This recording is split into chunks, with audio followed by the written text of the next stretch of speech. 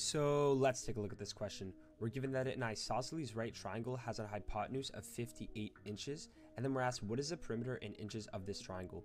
So we have an isosceles right triangle. So what that means is that these two sides are the same.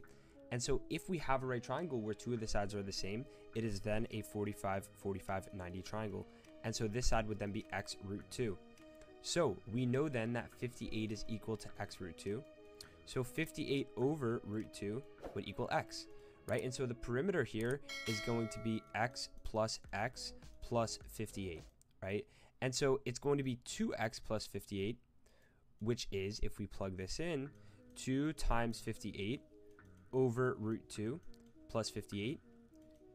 And that would then equal 58 root 2 plus 58. And so our answer to this question is going to be C. For more SAT help, check out the YouTube video down below.